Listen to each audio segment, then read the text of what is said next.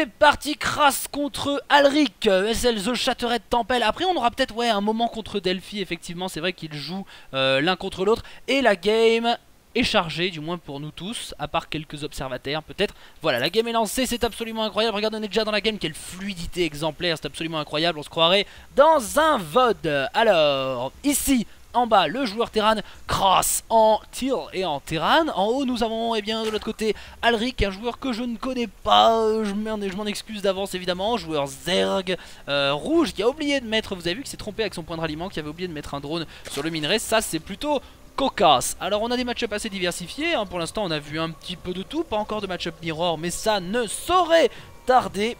Et nous allons voir, voilà, Alric qui avance. Donc là on a des joueurs Grand Master évidemment, hein. que du joueur Grand Master, vous le savez, dans la Game Cup, hein. ça va très vite sur du, sur du Master, Grand Master, que des joueurs professionnels, enfin non, pas que des joueurs professionnels, que des joueurs qui, eh bien, sont assez bien classés dans leur ligue en général et plus on avance dans la soirée plus on a des belles parties ça c'est absolument logique. 12 de pop pour le joueur rouge 11 de pop pour le joueur teal. Et il avance il voit qu'il n'y a personne de ce côté là donc il sait maintenant qu'il est de l'autre côté puisqu'on ne peut pas être en face puisqu'il n'y a pas de close position. Arrêtez de scouter en ladder la position d'en face. Je vous vois je vous vois faire ça. Arrêtez arrêtez. C'est pas du tout du tout la bonne solution. Bon en tout cas, il va maintenant partir vers la deuxième base. Pendant ce temps-là, il va scouter, voir comment ça se passe. Le terrain qui voit ça arriver avec son VCS, voilà, le drone qui monte, qui va attaquer le VCS, poc poc. De l'autre côté, il y a un autre VCS qui va arriver. On va appuyer sur T pour interrompre celui-ci, mettre un petit coup de foreuse avec celui-là pour, pour, pour compenser. Et maintenant, l'ouvrier s'en va. 22 points de vie, il va régénérer. 23, absolument incroyable. On va passer sur du 24. Ah non, 18 dans la gueule. Tant pis. Et bien voilà, le drone va quand même remonter. Pas encore de fermeture. Et on est parti sur Hatch First de la part du Zerg ici en haut, au niveau de sa base. Voici Alric qui passe dans l'économie. Regardez-le. Only a quitté la partie. Only has left the game. Effectivement, regardez. Il passe, il passe, il passe, il passe. Et il voit ce gaz. Il voit ce gaz absolument exceptionnel. Va-t-il y avoir un faucheur? C'est ce que nous allons voir bientôt. Là, il va surtout aller fermer sa base avec ce VCS. Je pensais qu'il allait fermer sa base. Normalement, on aurait dû fermer la base à ce stade-là. Mais il va prendre ce VCS là probablement pour faire un dépôt. Pas du tout, mais qu'est-ce qu'il fait? Qu'est-ce qu'il fait Faut un deuxième dépôt là quand même. Là honnêtement, c'est pas que je me trompe ou quoi, je sais pas quoi, c'est qu'il faut un deuxième dépôt. On est à 17 sur 19, euh, peut-être pas non plus déconner. Peut-être là, voilà, voilà un dépôt qui va être bien annulé. Du coup, il prend du retard, c'était logique, mais voilà. Du coup, il le relance juste après, c'est merveilleux. La couveuse est à 900 points de vie sur 1500. Le SCV qui monte, qui va voir cette deuxième base en passant. Hop là Et maintenant, il monte. Ah, je sais pas si on la voit en passant là. Ça me paraît un peu large si jamais on, on fait ça. Je pensais que c'était toujours fait exprès pour. Mais visiblement non. Alors, il a lancé le bassin génétique juste après. Voilà. Comme à, leurs habitudes, les, joueurs Zerg ici, BO très classique de la part des, euh, deux joueurs. 17 de pop pour le joueur Zerg, 20 pour le joueur Terran. Et regardez, le premier Marine eh bien, va arriver dans cette base Zerg alors que le deuxième est en train de suivre. Il va tenter un bunker rush, mais regardez, il y a déjà deux drones qui sont sur le coup. Va-t-il le tenter? Il le Oh, c'est bien loin ça. C'est bien loin, le Zerg ne le verra pas, du moins pas pour l'instant. Mais bon, il a deux Zerglings qui sont lancés, ça va normalement assez fail. D'autant qu'il envoie du marine que, euh, un par un. Oh là, il prend ses, il prend ses distances, l'Overlord. Vite faire le tour en longeant les murs. il aurait pu quand même faire une petite diagonale, mais non Casse l'antienne. Alors là, il va voir le bunker rush, voilà, tac. Il voit le bunker rush. Bon, pas de réel danger, hein. il faut lancer un petit spine crawler et lancer 2-3 zerglings de plus, mais vraiment pas de réel danger hein, avec ce, bunker rush. C'est vraiment histoire de mettre un petit peu la pression, hein, ce joueur Terran qui va tenter, voilà, ce genre de choses. Là, il l'enlève, vous voyez, les zerglings vont arriver, il va revenir dans le bunker. Pour l'instant, il aura tué deux zerglings, attention de ne pas perdre un VCS, excellent. Voilà, il va essayer d'aller choper, taquiner ses aiguillons rampants. Il y a la queen derrière, il va essayer de le choper quand même avec la micro-gestion. Il y arrive, ah, il l'a annulé. Il a réussi à l'annuler quand même, attention, parce que là, il y a la deuxième queen qui descend et les marines qui sont dans le bunker. La queen qui se retrouve avec 86 HP, pas faire quand même une transfusion de points de vie à ce stade-là du jeu, ce serait perdre du temps. Belle micro-gestion de la part de Kras. Peut-être que ce bunker rush inutile pourrait se transformer en quelque chose de euh, sacrément sympa. En tout cas, les queens perdent des points de vie. Celle-là, on perd pas mal déjà des points de vie. Est-ce qu'il va pas se retourner pour la choper? Non, il ne s'est pas retourné pour la choper. Il a tenté, mais il a pas vraiment réussi. Il va focus le spine crawler maintenant. Et en plus, ça ralentit le Zerg qui lui ne peut pas faire d'injection sur sa première base. Donc c'est toujours ça de prix. Voilà. Alors après, il faut arriver à gérer les deux en même temps. Oh, il peut tomber les deux queens là. Il peut peut-être tomber les deux queens. Attention. Ah là là, ce serait dommage. Parce que là, ah, c'est dommage. Vous avez vu il va rien tomber du tout alors qu'il y a cette queen à moins de 30 PV, cette queen à moins de 40. Oh il la laisse, il la laisse 15 points de vie. Oh wow wow wow wow, Allez sort, sort et attaque la mec. Allez, prends ton courage à deux mains. Il y va, il y va, il va la tomber. 8 HP là. Et oui, mais le problème c'est ce Poc Poc là qui martyrise le Marines.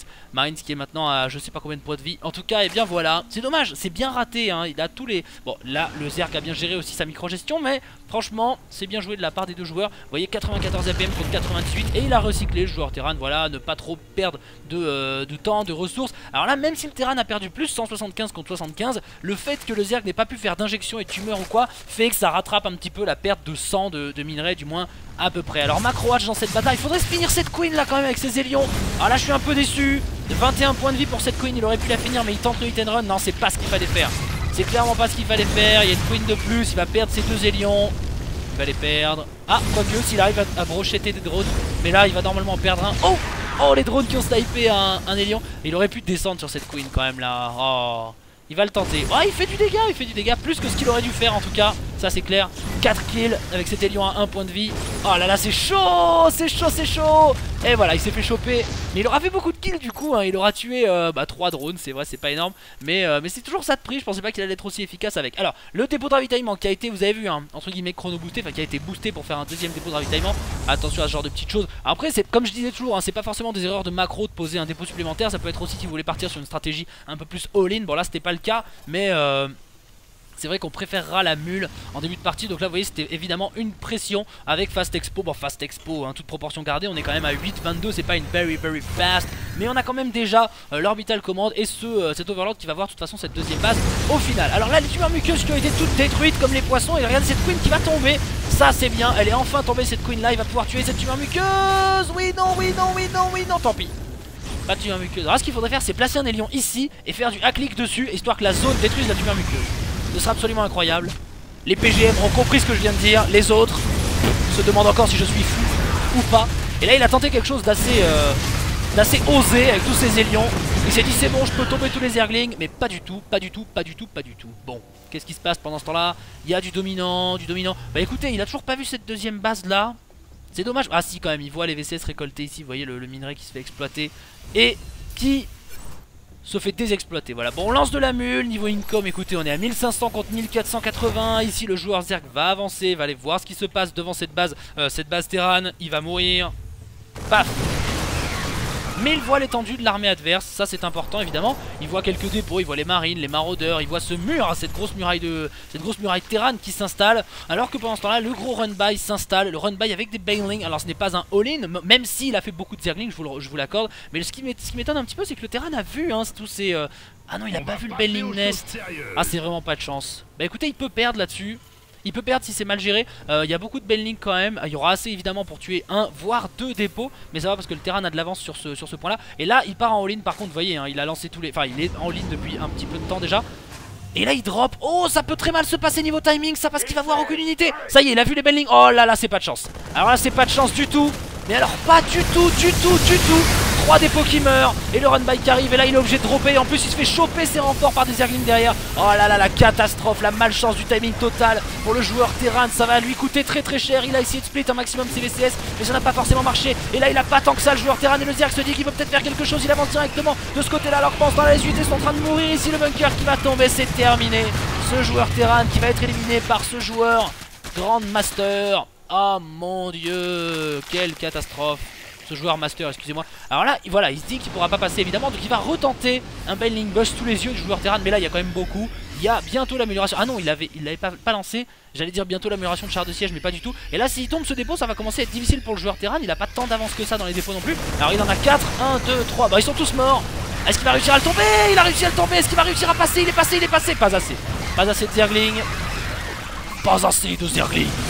Alors là même si le Zerg n'a pas gagné honnêtement il a fait une très très bonne opération. Alors après il faut pas oublier que lui aussi a perdu beaucoup de ressources à faire ça. Et c'est ce qui nous amène à regarder les pertes et à voir que le Zerg en fait a perdu plus beaucoup plus que ce joueur Terran.